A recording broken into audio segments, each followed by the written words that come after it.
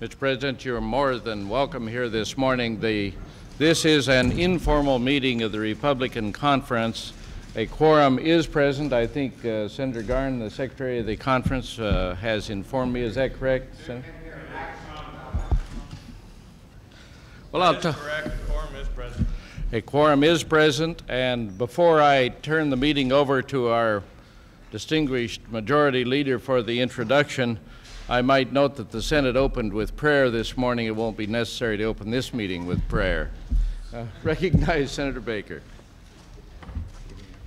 I can get through, yes, sir. Mr. President, welcome to the Senate side of the Capitol, the Republican caucus, in this, the old Senate chamber. This is an historic place. It's where the great debates took place prior to the war between the states.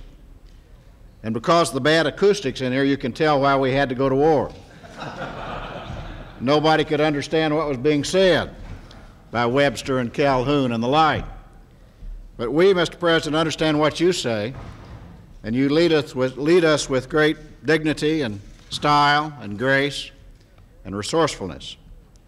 We're here today, Mr. President, at your request to discuss a matter of upcoming great importance, and that is the package that has been arrived at as the down payment on the reduction in the budget deficit. I take this opportunity once more to thank you for your devotion, your time and effort and dedication in trying to negotiate this package. There were many meetings covering many hours. There was a spirited give and take by those involved and by you. I think you conducted those negotiations in the very best traditions of this republic and of the presidency. Mr. President, we're proud to be with you, and we be, will be proud to fight with you in this session of the Congress to formulate the policies that will best serve this nation. Ladies and gentlemen, it is my high honor and privilege and pleasure to present to you the President of the United States. Thank you very much. Thank you.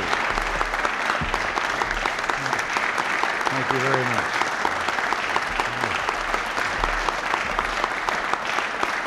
Oh, Please. Thank you very much. I have to explain something, confess to something here that I came around to the wrong side here where I was supposed to sit and was directed over to this side, but coming in this short aisle, I realized that if I came directly this way, I had to turn left. so I did it backward. But uh, I've come here and asked for permission to talk to you this morning, and I appreciate this opportunity on the so called down payment uh, that we have come together on, some of your colleagues and, and ourselves, and the importance of it. As you know, in the State of the Union address, I had asked for the possibility of a bipartisan group in both houses of the Congress that we could get together and without polarizing or making it an election issue that we could come to an agreement on a down payment. Called a down payment because we realize that there is nothing that we can do right now and in this short span to completely resolve the ongoing deficit problem. But that doesn't mean there aren't things that we can do over the long range, looking to a date possible when we will have a balanced budget, and that's why I continue to hope that we can convince everyone of the need for a constitutional amendment which will make a balanced budget mandatory. It seemed that we couldn't get the cooperation we sought in trying to come to that bipartisan position. So, with your leadership, Howard Baker and Ted Stevens and John Tower and Pete Domenici and Bob Dole, Mark Hatfield, Jake Garn, and Paul Laxalt, we did, in a series of meetings, move to and come to agreement on this plan, which would call for $43 billion over a three year period in savings in the domestic side of the budget, $57 billion in budget authority in the defense budget, and $48 billion in increased revenues, but without a tax increase as to rates. We believe that there are um, loopholes, there are provisions in the tax law that in some instances, uh, uh, let's say, are unfair uh, generally, or some can take advantage, unintended advantage of them. And in looking at these, we believe that this sum of money uh, was possible. Now, we know that there are others uh, your colleagues on the other side of the aisle who want or profess to want a reduction of the deficit, but they would put the major emphasis on defense and increasing taxes and increasing tax rates. We believe that this is a good package. Let me just say that uh, I have to I have to say that I believe the cuts that we're proposing in defense will mean a slowdown in what we're trying to accomplish. But I don't believe it's unacceptable that it isn't enough that to overcome the need for us to deal with this deficit problem. Now, I know that we're hearing all sorts of things about the deficit, and it's, I think it's wonderful that suddenly, after all these 40 odd years in which uh, the, our opponents had the majority in both houses of the Congress, and during which time we virtually without exception had deficits, literally as a matter of policy, that they have now decided that we should share and that the deficits are ours. Well, we don't want them. So what we're going to try to do is, is get rid of them. I think that as an issue, it's going to be rather difficult for those who have, as I say, participated deliberately in a policy of deficit spending that accounted for virtually a trillion dollars in national debt before we got here, to now turn around and say to those of us who have been asking for reductions in spending in these last three years and have only gotten about half of what we asked for, to now say that uh, we are responsible for these when at the same time we are the ones who are asking for a balanced budget amendment and they are the ones who are resisting that. But I do hope that we can be bipartisan to the extent that there will be well meaning legislators on the other side of the aisle who see the necessity for getting this down payment. And then, as I indicated a moment ago, that there is further distance to go, then I believe that we must seriously study the structural changes that have to be made in government in order to come to that day of balanced budget.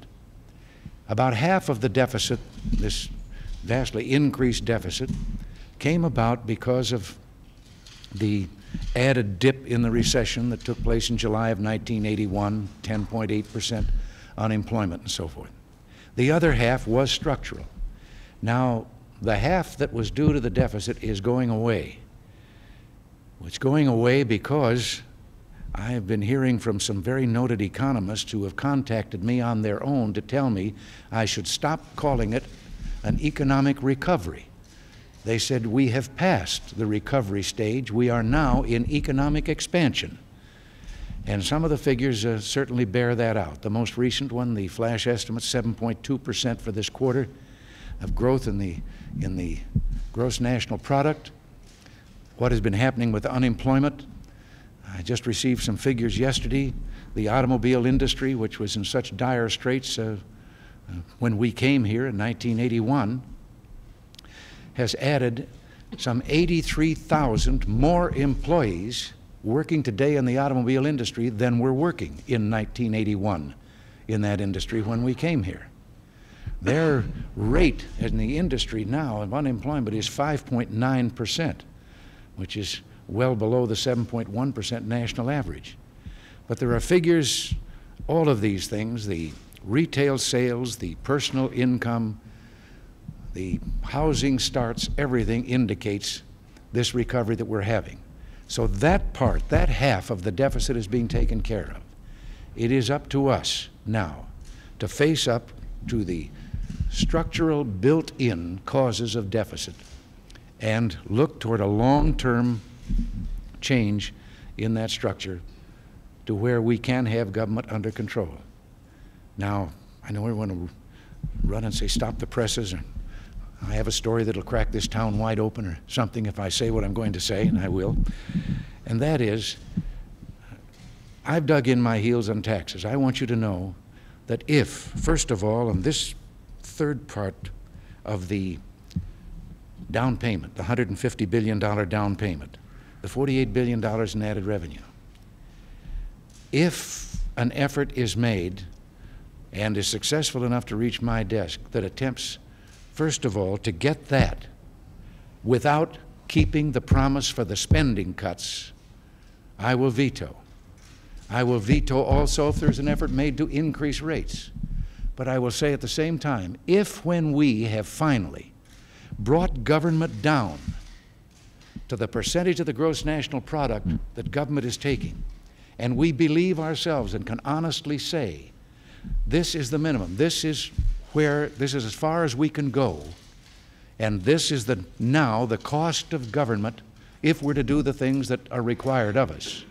And if that figure then is still above the percentage of gross national product we're taking in revenues, then I would be the first one to say we would have to adjust to meet this standard of government. I happen to believe that, that there's a good chance that will not be necessary if we do what we should do with regard to shrinking the, the cost of government.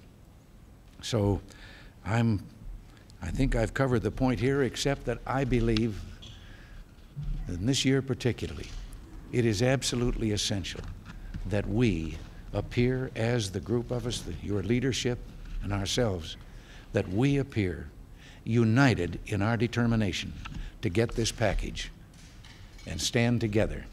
And I think it will benefit all of us very much in every way. It will not only be good government, it will be good politics.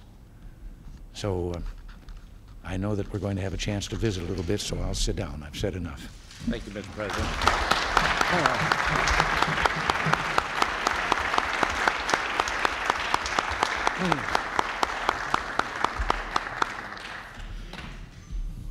We'll have a brief intermission while the press leaves the room and